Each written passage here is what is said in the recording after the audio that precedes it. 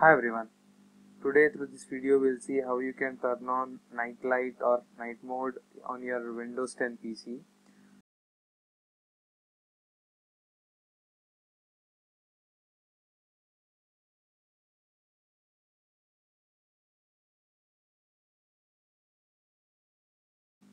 So let's get started. Uh, so in the start menu you can see an option called uh, notification bar. Uh, click on that or you can see the highlighted bar.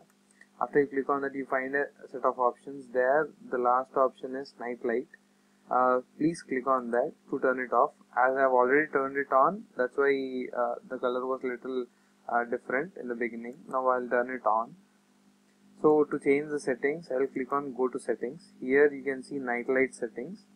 So there we have uh, until on until sunrise uh, turn off now color temperature at night so you can adjust the uh, brightness of the or the color temperature.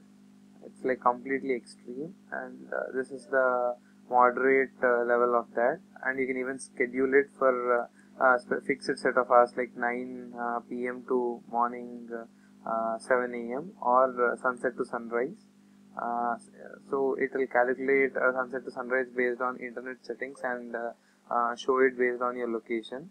So the ideal option is sunset to sunrise because you don't have to manually turn it on. Automatically when sunset happens this gets uh, turned on. Uh, so this way you can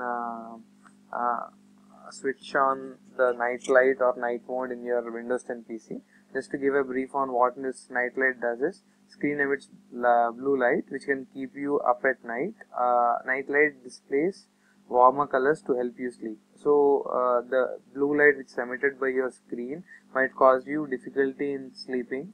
Uh, so the warmer colors help you uh, sleep properly. So this way you can, uh, uh, though you're working at late night, you don't get uh, sleep disturbance because of working late nights. This is about a night light turning on on your Windows 10 PC. Uh, if you have any queries regarding night mode on your Windows 10 PC, let me know through the comment section. I'll try to help you. Thanks for watching this video. Have a nice day.